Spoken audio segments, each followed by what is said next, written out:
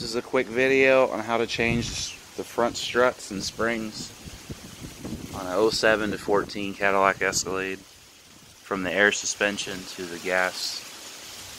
Uh, there's only five bolts.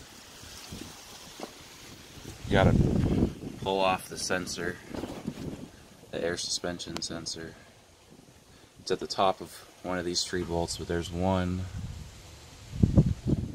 and another one in there.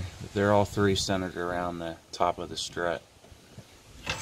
Get your extension and uh, 18 millimeter socket, deep socket to get those three off. They're easy. You don't have to disconnect anything or uh, unscrew anything or unbolt anything other than the strut itself. And it's the same thing for the other side. I did that one yesterday. But it'll look like this. These three on this side. And then uh,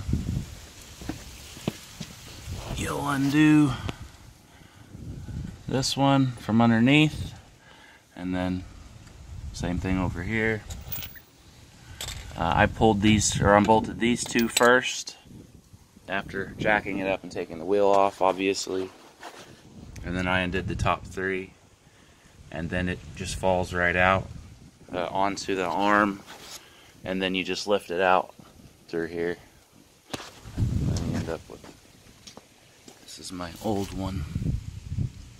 Um, it took me about an hour to do the passenger side because I was in and out uh, most of the day.